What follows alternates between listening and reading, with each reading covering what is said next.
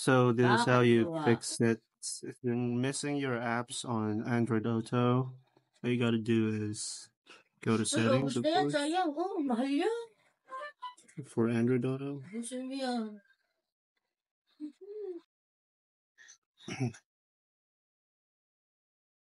go down to the very bottom. And you gotta press version 10 times.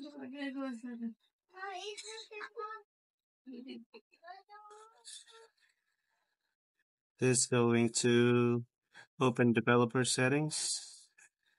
Go to settings over here, developer settings. And you will need to check unknown sources. This is going to collect data like the Carstream because it's not really something that uh, Samsung is allowing, like apps who are.